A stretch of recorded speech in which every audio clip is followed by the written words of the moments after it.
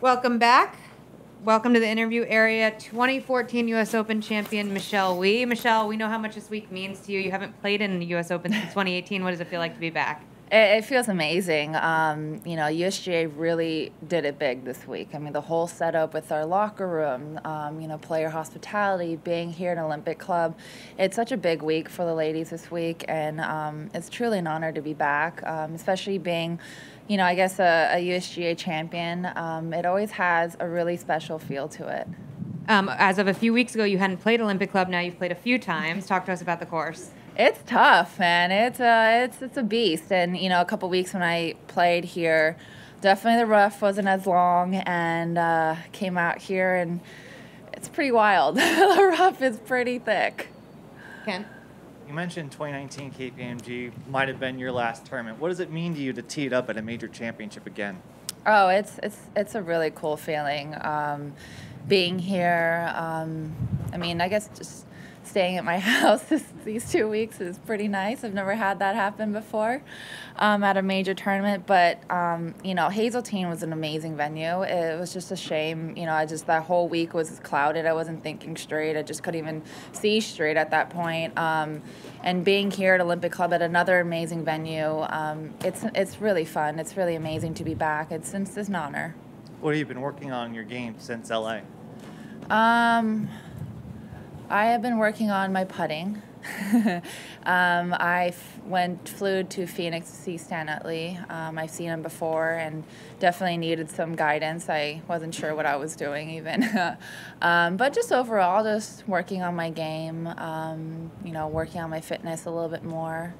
And Pat's really emphasizing the majors for rounding out the Solheim Cup team. How do you balance being an assistant captain this week with your return to the Open? It's been so much fun. Um, honestly, being you know co-captains with Angela Stanford and you know obviously with Pat Hurst, uh, we've had weekly calls sometimes. Um, multi-week calls and it's just honestly such a blast to really get together. And you know we had a nice um, you know team call or um, whatever the top rankings called. And you know it's been a lot of fun connecting with the players in a different way um, really trying to get to know them better get to know their games better. Um, and obviously it's it's a lot easier to do so when I'm on site. So I'm really taking advantage of this week um, hopefully get paired with some people and you know really get to see their games and have a whole round to chat with them. What were your big takeaways from your time with Stan? Um, you know, I, I, I, had a lesson with him um, a couple years ago, which I, you know, I always think about. So it was really nice to um, kind of refresh the things that I was doing. Um, I think stepping away from the game for that long, um, it felt like with my swing, um, it was really natural. It came back with my putting, I think it's just like the really small things. I just forgot. I even forgot like what drills to do. I was like, what am I even doing? um, I am I holding the club? How am I doing anything? So it was really nice to see him um, and refresh and kind of just nothing new. Just uh, remember what I was doing before. Yeah. Michelle, evidence appears to be mounting daily that there that being among the best athletes at what you do can be hazardous to your mental health. And I'm wondering how you've managed to negotiate what almost seems like an unavoidable trap given your hard wiring and the stresses and expectations that are there for you. I mean totally. I mean I think it's been you know, my lows have definitely been well documented um, throughout the years, and you know, there's a lot of tough times. Um, you know, you know what I thought what Naomi did um, this past week was incredibly brave. Um, you know, I also understand that part of being an athlete is um, speaking to the media because um, you know that's how the tournaments get done is through media coverage. But I, from a player perspective, I am totally understanding. It's that I have, you know, I, I do get anxiety, you know, talking to media like right before because I know it's the same questions every week. Um, and you know, you guys are just doing your job, um, and I really appreciate that. I really appreciate, um, you know, the media covering women's sports in general, but. Um, definitely as a player, it gets tough, especially after having a bad round. You know, the last thing you want to do is talk to anyone. Um, you know, it. So it's it, it's tough, um, especially when you're not doing well or you you know there's there's a lot more to life than your game like there's could be other stuff happening um, you know it is uh, it is sometimes crippling at times but you know really proud of you know athletes taking um, charge of their mental health and making it a priority and uh, you know more conversations need to be had about that Leanne?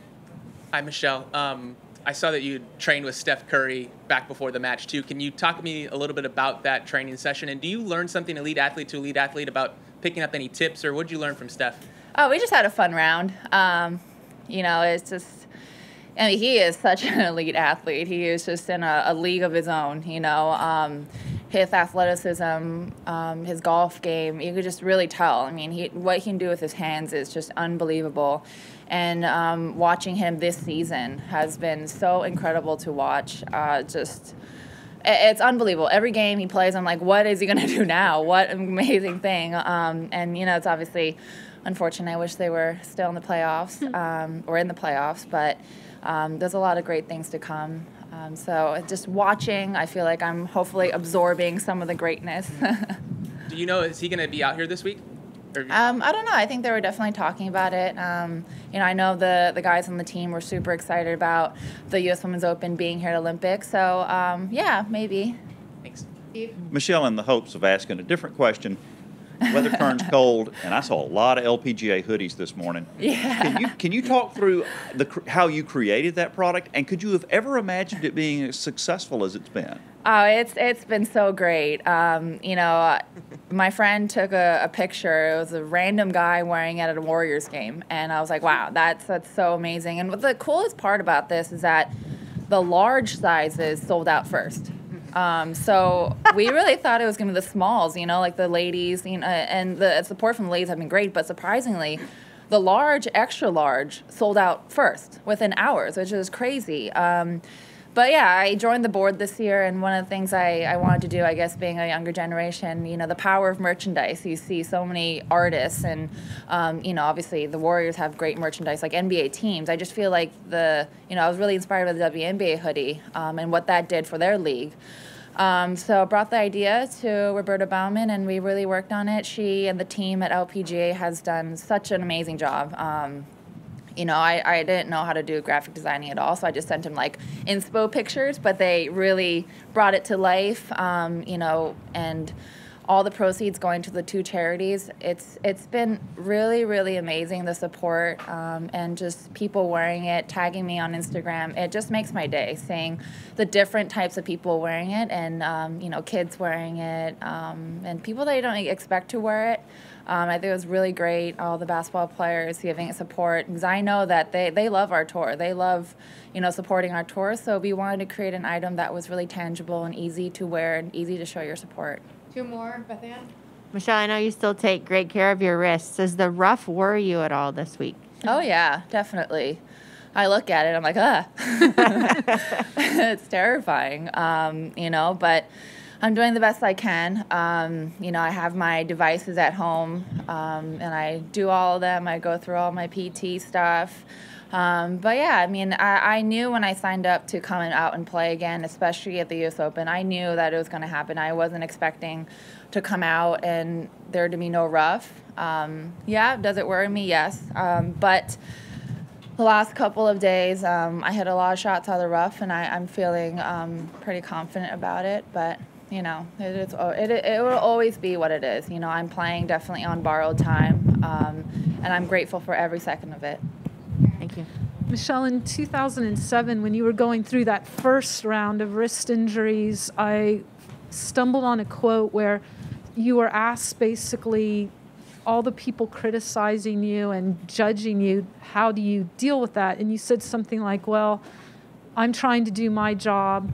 Reporters have their job to do. And I'm wondering, you were so young then, like, was that bravado or where did that poise or perspective come from? I mean, that seemed like a sign that even then you were able to navigate it better than many people do.